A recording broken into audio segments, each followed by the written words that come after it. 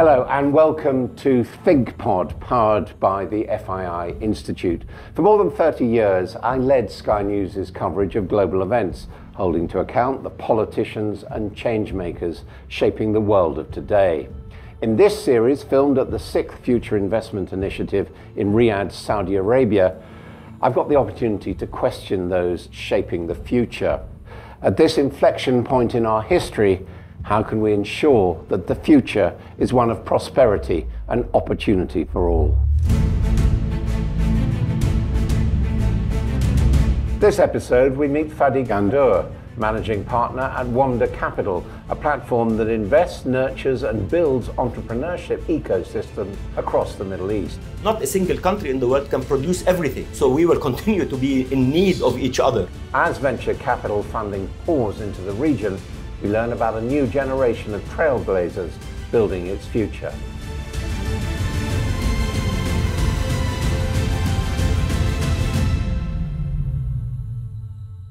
Well, thank you very much indeed for joining us on ThinkPod. I'd like to start by asking you to introduce yourself. Tell us about yourself. So, my name is Fadi Ghandour. I am uh, uh, an entrepreneur, if you want.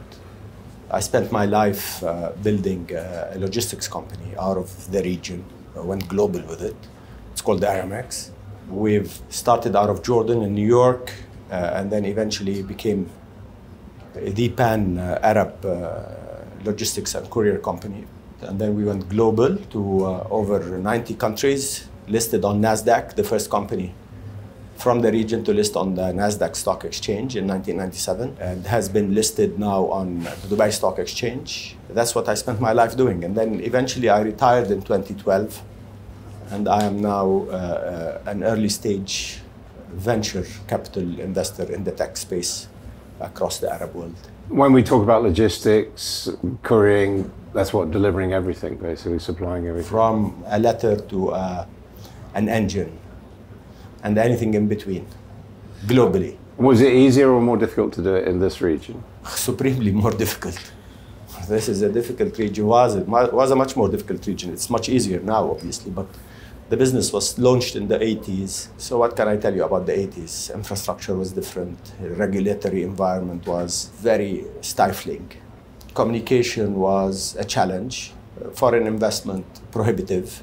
But that was also the opportunity, right? So when you have all these problems, then us uh, locals. That's what attracted you. Yeah. It eventually became uh, understood for me as as the advantage early on because a lot of our big competitors, other than DHL, which you know, were uh, shied away from this region because of its political challenges also, not only regulatory challenges. So there was, you know, the politics of the region. And so uh, we were able to build the business in calm times, if you want. Calm meaning from the business competitive uh, environment. We didn't have all these giants, UPS, Federal Express, all these guys were not in town at that time. So a local company, a regional company, uh, we were able to build the business uh, at, at a much lower capital requirement and slower, not under pressure to do you know, quick growth, quick uh, uh, having to raise too much money. We're the sons and daughters of the region, so we know it well and understood how to build it and how to be very patient to uh, overcome all these challenges. And has it got easier now? So much easier. I mean, all entrepreneurs are uh, have it easy now, in my view, because the region has normalized. I mean, normalized as in its regulatory space with the rest of the global uh, community. So foreign investment is so much easier. Venture, venture, funds are everywhere. The region is opening up to itself, so you can inter-regional trade, inter-regional movement. It's so much easier now. I mean, this is a different. I mean, this is the age of uh, the internet, right? It's a digital age. I, I was pre-internet, right? Yeah. So you, you and I are probably closer in age. So this, these were the days of the telex machine. I mean, in a sense, you made it easier, and then your foreign competitors could come into the market once you. Yeah, so they came in when we were already well established. So we love competition. They keep us uh, very uh, innovative and very creative. We don't mind competition at all. The biggest challenge for us is to be able to stay relevant in our products and services. I mean, away from Aramex, uh, you. Yeah you've concentrated more recently on, on social entrepreneurship. And, that too. I mean, uh, yeah. along. I mean, this was uh, in parallel. Sure. Right. So 17 years ago, we launched uh, a social impact organization called Ruwad. Ruwad in, uh, in English means entrepreneurs for development. So this is basically bringing in the private sector or the entrepreneurial community to be more socially engaged with marginalized communities across Jordan, Lebanon, Egypt, uh, and, and the so, so what, what, sort of projects is, is that? So, so what we do at Ruwad is we give uh, scholarships to university age uh, students in marginalized areas, less lucky areas, let's call them. Uh, in return, they give us four hours of volunteer work through a community center that we built. They go out with us and design programs around their four hour of volunteers, volunteering uh, every week. You come and apply and we give you the scholarship. In return, you give us your time. So this is not, it's not a charitable organization. This is a mutual benefit organization. You have knowledge, you have capabilities. I want that knowledge and capability, and I want to work with you to character build so that you feel you own your own solutions to the challenges that you have when you feel you are forgotten in marginalized communities. And so when governments are unable to solve your solution, your problems, and then we basically work with them to make sure that they can go out and say, instead of complaining, and finding solutions. And crucially, these people, the students you give scholarships to, stay in their own communities rather than. Yeah, they stay, and some of them, you know, a lot of them uh, graduate, if you want to call it that. Graduate meaning they go out, they find jobs, they become bread earners, and they, uh, they, they also give back to the community there. And they don't necessarily continue to live there uh, but their families live there. They, they are very connected to that community, and so they'll always feel that the, they can continue to, to contribute to the development of that community. I mean, you, you talked us about technology. Right. How is technology changing education and the ability to train people? Massively. So, I mean, you know, the pandemic uh, reminded us uh, how important it is to uh, be digitally enabled in, in learning because, you know, when we were all stuck at home, our kids uh, were, were having to learn uh, virtually. The tools you need to use are te technological, but you need to also be uh, yourself technologically mm. savvy. So this is a digital uh, uh, generations. They're digital first. not like you and I. Yeah. we're not. We were analogs. The problem with the education system is that this young generation self learns because they're always online. Uh, it's the education system that needs to catch up to this digital first uh, generation. Do you feel that in this region there is the infrastructure necessary? Completely. Yeah.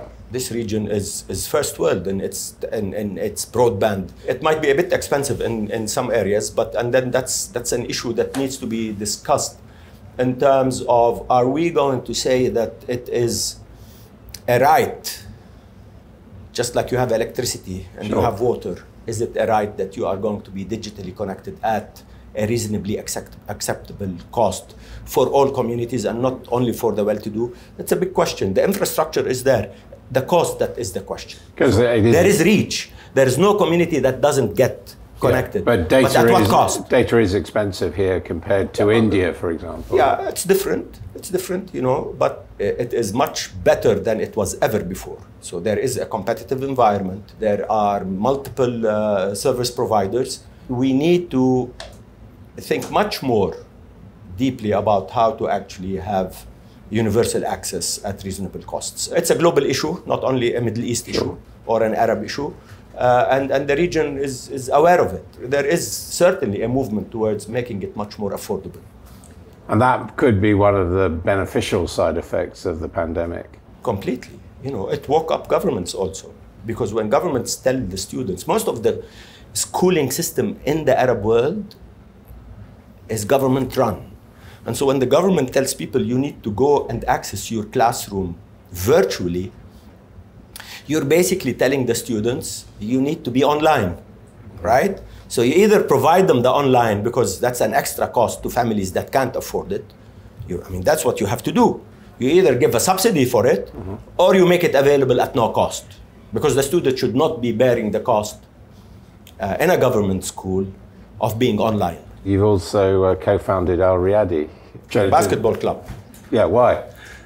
I'm passionate about basketball, and uh, I, you know, in in Aramex, the company that I founded, we we had felt all through the years that we are an organization that needs to be engaged with, with society in general.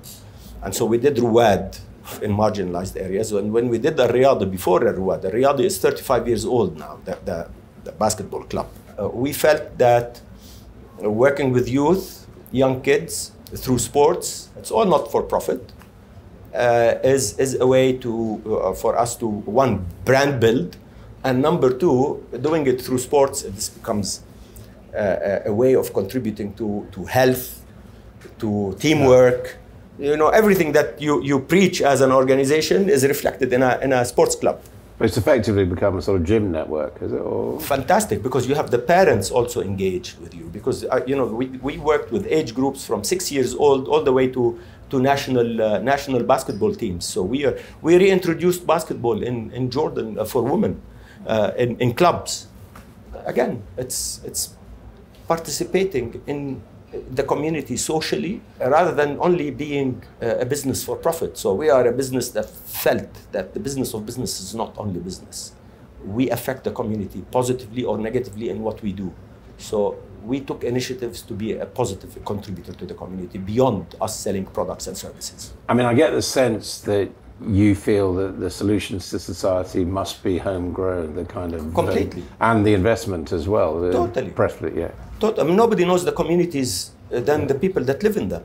Yeah. We don't want parachuting solutions from from an outside world. Uh, the community has capabilities, has knowledge, and that's why in Ruwad we said, you know, the private sector has money, has knowledge, has networks, has access. You don't need to wait for foreign aid to solve your problems. You can all solve your own problems in your own communities so that you have a society that is stable. And thinking about the well-being of society is not for the well-to-do only. Sure. It is for everyone in the society. And and the private sector and the entrepreneurial community have a duty to be part and parcel of the solution, not only leave it to government, say this is the government's job, it's not our job, our job is to maximize profit. But that's an old formula that is defunct because we know when the private sector uh, uh, misbehaves, it affects so many people in, in uh, globally. So, I mean, financial crisis is, is a well uh, given uh, example of uh, 2008, 2009, when a failure of a bank in New York affected us all globally, right? So we need to be very conscious of how, what, how we conduct ourselves in, in, in, the communities that we live in as a private sector. And do you think the consequences of that is that sort of deglobalization is a good idea? I'm, I'm a globalizer. Uh, I, yeah. I, don't think there is, you know, I think deglobalization is, is talked about more in, in newspapers than the reality. The, the world is, is, is global. Uh, trade yeah. continues to happen.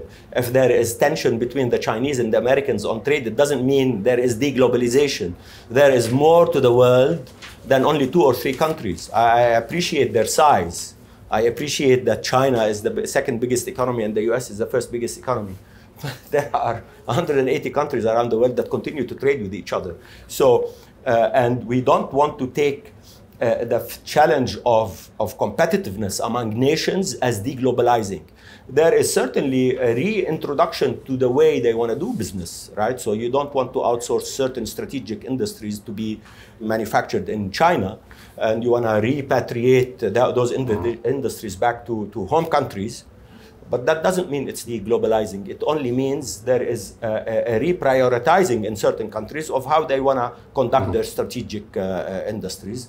But the world continues to be open for trade because not a single country in the world can produce everything.